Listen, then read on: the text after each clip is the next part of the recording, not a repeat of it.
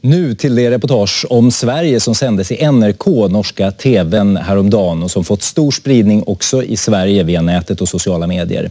I reportaget skildras utanförskapsområden som Rinkeby och Husby i Stockholm med fattigdom, hög arbetslöshet och omfattande kriminalitet. Områden som enligt NRK polisen till stora delar har förlorat kontrollen över. 33 91 30, kom. Ja, 30. Har områdesansvarig möjlighet att ringa upp mig så vore jag tacksam. Kom. Det ska jag försöka ordna, Biljana. En svensk politipatrulje på väg in mot en av Stockholms mest belastade förstäder.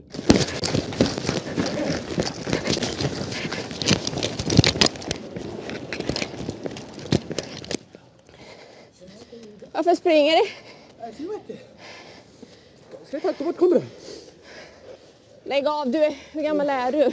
Jag är 15. Ja. Varför springer för? Eh, Vi fick ju ett larm om att det står ett gäng ungdomar eh, och kastar sten och glas eh, mot en skola. Och de är alla under 15. Eh, Så de är kontrollerade och sen pratar vi med deras vårdnadshavare. Informerar vad det är som har hänt. Norgegatan i Husby. En av bydelene rundt Stockholm der politiet for lengst har mistet kontrollen.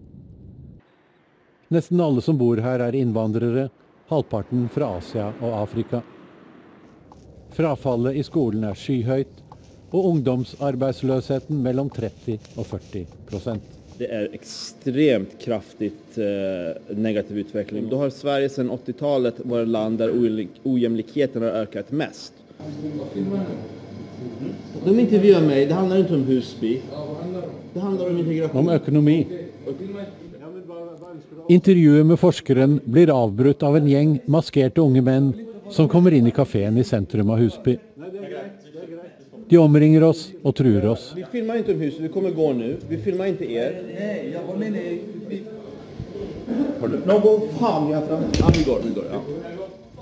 Ungdommene blir mer og mer aggressive og forsøker å ta fra oss kamera. Da er det på tide å stikke. Utenforskapsområder kaller svenskene disse bydelene med trangboddhet, arbeidsløshet, elendige skoleresultater og ikke minst skyhøy kriminalitet. Det var tre utenforskapsområder i 1990. Nå er det 186. Men man har liksom sopat under mattan, man har använt förskönande retorik, man har stämplat alla som påpekar det här som nazister. Och vem är det som betalar kostnaderna? Det är inte politikerna, utan det är de här ungdomarna. Vi måtte evakuere fra Husby og fortsette intervjuet i et roligere område. Och nästan alla Sveriges riksdagsledamöter till exempel bor ju i fina vita områden. Och de lever då i lite av en bubbla där de går omkring och säger "Men vad, klagar folk på? Det har aldrig varit bättre. En politirapport lister opp 55 av utenforskapsområdene som farlige bydeler hvor kriminelle nettverk har sterk innflytelse. Politiinspektør Lars Alvarsjø mener det nå hersker lovløshet i store deler av Stockholms politiregion. Vi möts av stenkastning när vi åker på uppdrag. Eh, även eh, räddningstjänst, brandkår, ambulans. Eh, man har kastat handgranater på polispatruller. Senast förra veckan så eh, blev en polispatrull beskjuten. Jag bedömer ju som att situationen är ganska allvarlig som det ser ut nu. Det är vissa områden där vi håller på att tappa kontrollen. Ja, men, eh, jag tänker bara att vi ska ta fram eh, hjälmen och Biljana Flyberg leder nærpolitiets team i bydelene Rinkeby, Tenstad og Husby. Nå gjør de seg klar for nattens innsats. Vi har eh, väldigt mycket vapen i omlopp i eh, vissa av våra områden. Eh, och det kommer väldigt mycket vapen från andra delar av världen. Har du skuddsikker vest på deg? Ja, jag har skyddsväst på mig. Det må man ha hele tiden. Det måste man ha. Och jag skulle aldrig åka ut utan skyddsvästen på mig. Vi har sådana här hjälmar också med oss ut i bilarna. Ja, för sten. Er det mye steinkasting? Ja, det är jättemycket stenkastning. Okej. Eh, väldigt mycket, I det här området är det väldigt mycket polisfishing. Att man ringer in ett eh, larm eh, för att få in polisen i området och sen så ligger man i bakhåll och kastar sten. Hvorfor det? Man är missnöjd eh, med samhället.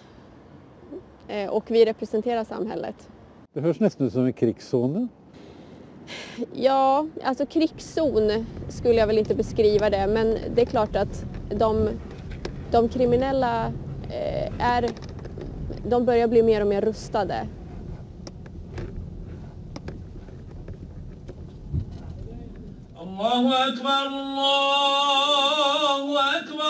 Moskén i Kista är gott besökt vid fredagsbönen. Här är man smärtligt klar över de kriminella gängernas makt i området. De som har kommit tidigare och uh, har den här kriminella tanken utnyttjar de nyanlända för att tjuva saker och ting, gå in och snatta och, och, sälja knark uh, och sådana saker. Och man är i behov av pengar och kunna leva som alla andra. Då kanske går man med i det här. Mahmoud Aldebe tar oss med till Rinkeby torg. Han syns inte att politiet gör nog. De, de vågar inte liksom, ta steget faktiskt vara lite hårdare mot eh, gängen som sprider de här droger i, i förorten. Du syns det borde vara strängare? De borde vara det. Senaste tiden hör vi varje dag liksom att eh, någon blir skjut, skjuten med vapen och så vidare. Det här är en typ av maffia som bildas faktiskt i förorter. Vi går in till T-banan. Plötsligt susar en svär stein genom lufta och träffar en av väktarna. Ja, det tog en sten träffa mig nu. Ja. Detta är den andra steinen som kastas mot ordensvakterna i löpet av fem minuter. Ja, det är ett territorium det handlar om. Ja. Det är bara så. Akkurat. Man vill skrämma liksom ordningsvakterna att, att de ska inte synas i området, att det är mitt. Det är en del av maffiatanken tanken som kom hit. Kvinnors frihet hämmas inte bara av kriminella, men också av ytterliggående islamister som har fått ökt makt i dessa områdena. Tensta idag har mer gemensamt med de länder där eh, islamisterna skrämmer folk. I, säg Afghan, Afghanistan eller eh, Turkiet eller där islamister är starka så är det på samma sätt i vissa bostadsområden i Sverige. Finns det ett organiserat moralpoliti här? Absolut. Alltså de eh, säger det öppet. Det var ett stort möte en gång jag råkade lyssna på när jag gick förbi Spånga IP. Ett stort möte. Och då säger eh, en talare och de går på våra gator i sina korta kjolar och förelämpar oss. Och vi bara stod helt chockade. Det finns eh, moralens väktare som spottar på dem, som säger fula ord till dem, som säger, det var en flicka som hade jeans men hon hade alltså sjal och kappa men hade jeans. Då är det en landsmaninna som säger till henne, Hörru du flickan, varför går du naken?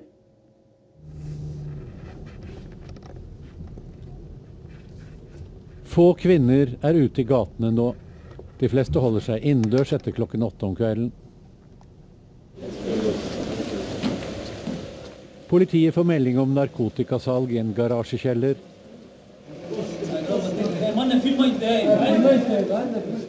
Och rycker in med två politibussar och två bilar. Ungdomsgängen är svärt aggressiv mot NRKs team och visar ingen respekt för att politiet är till stede.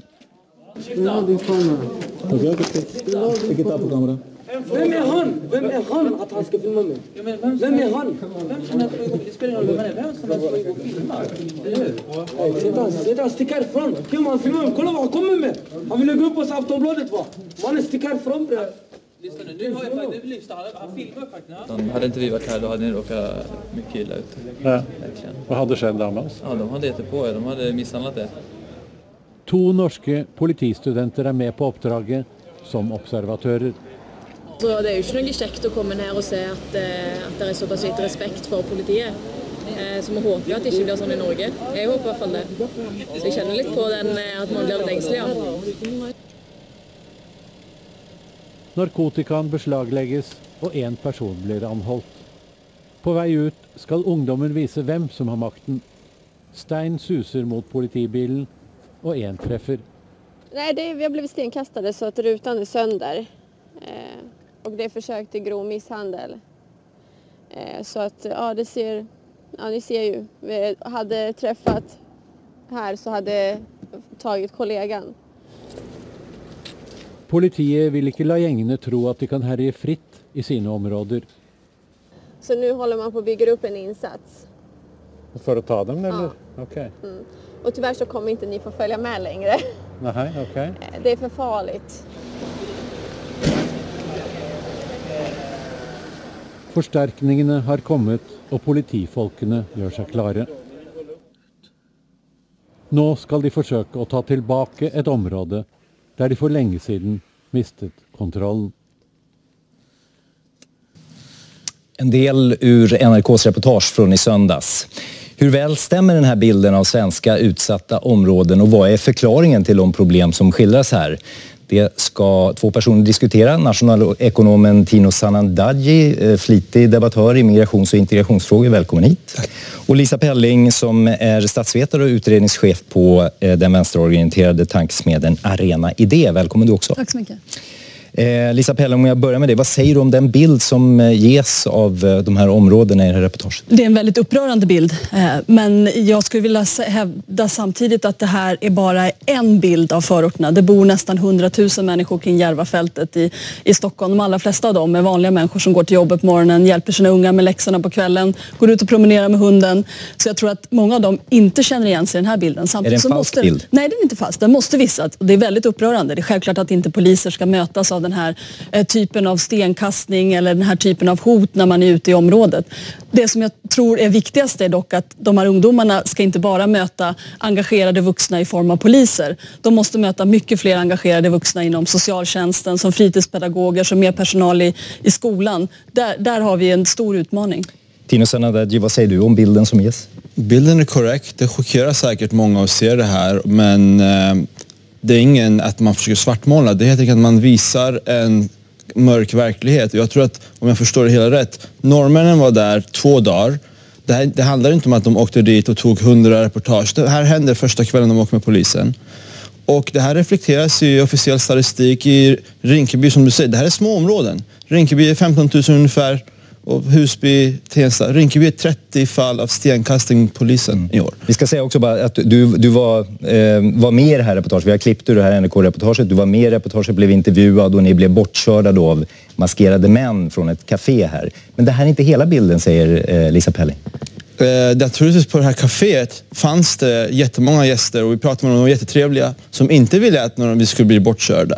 Men om man, om man säger att det är en eh, sprängdåd i Bagdad så tror jag att alla vuxna människor förstår att alla i Bagdad är inte terrorister, men det är fortfarande Ja, det bor fem miljoner i Bagdad, det är bara en av dem som sp- sprängde den här bomben. Det är ju ett sånt område som har 15 000 invånare så förväntar man sig i Sverige att det kanske sker ett mord var tionde år, inte ett mord varje år eller fler varje år. Det mördades någon i Husby i morse.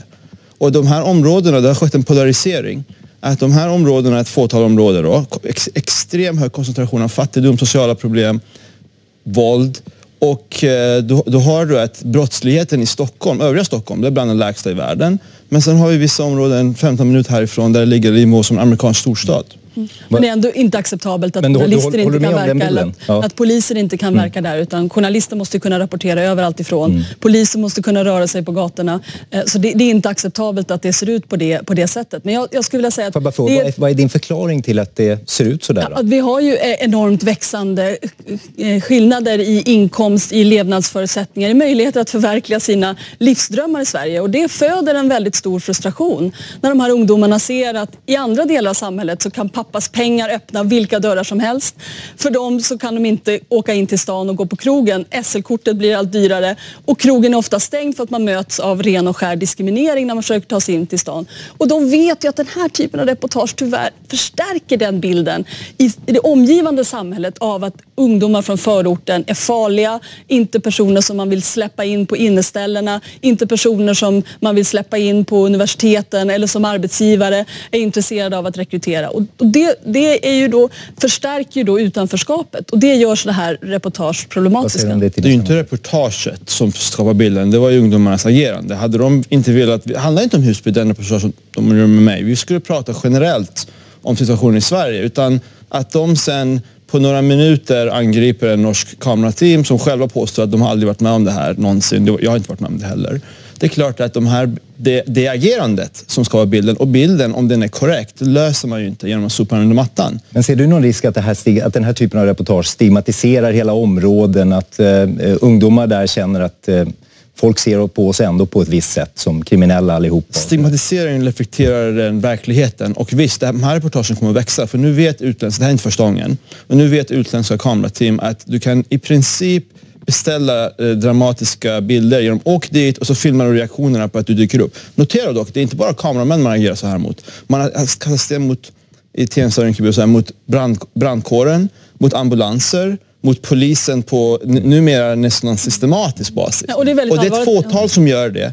Och det här fåtalet människor, det som drabbas är inte jag som åker dit en gång på min, i min livstid kanske och blir utsatt för det här. Det är de som bor där varje dag och så är det en skrä- skräck... De börjar säga Får, får jag snabbt. bara fråga, vad, vad, vad säger du om Lisa Pellings beskrivning här av vad som är orsakerna till, till det här? Några av det som hon sa är korrekt om diskriminering men när man ska säga allmän ojämlikhet så är det omöjligen förklaringen för att det här, priset för SL-kort har ökat för alla och det finns fattigdom i övriga samhället och det fanns fattigdom i Sverige för 50 år sedan. Då kastar man inte sten och attackerar polisen någonsin. Fast har inte klyftorna ökat och de här fattiga områdena blivit relativt ännu fattigare? Klyftorna har naturligtvis ökat, men klyftorna har också ökat överlag i samhället utan att man ser det här. Utan det här ser man i vissa områden där det finns en subkultur. En kriminell subkultur ofta, det finns en ideologisk syn på det här att man känner, man, man känner bitterhet, som är, och det har de rätt att göra.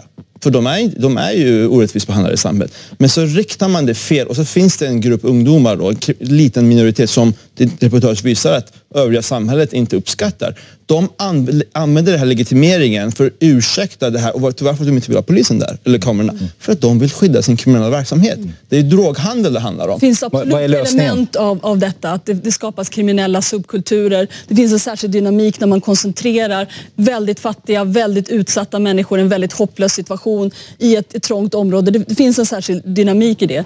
Eh, samtidigt så, så skulle man ju vilja prata mer om vad som är lösningen på det här och då är det inte enbart polisen. Polisen behövs, de gör ett jätteviktigt arbete. Men de skriver själva i sin rapport som det här reportaget hänvisar till att det som är utmärkande för de här områdena är att det krävs agerande av många, många fler samhällsaktörer. De här ungdomarna måste mötas av en skola som rustar dem med självförtroende att ta vilken utbildning som helst på vilken högskola som helst och inte trycker ner dem i skorna och får dem att känna att Men har det inte satsats på skolor i de här områdena? Nej, inte, inte alls tillräckligt mycket. Och vi har sänkt skatten med 140 miljarder under de senaste åren. Vi har enorma resurser i det här samhället som vi skulle kunna investera och det gör vi inte. Och jag tycker att det är slående med de här reportagen, det brukar de internationella tv-teamen också ta upp, att det är inga hål i gatan. Fasaderna ser rätt okej ut. Infrastrukturen, den som är byggd i betong, den är okej. Men den sociala infrastrukturen, den håller på att krackelera. Vad, vad ser du för lösning?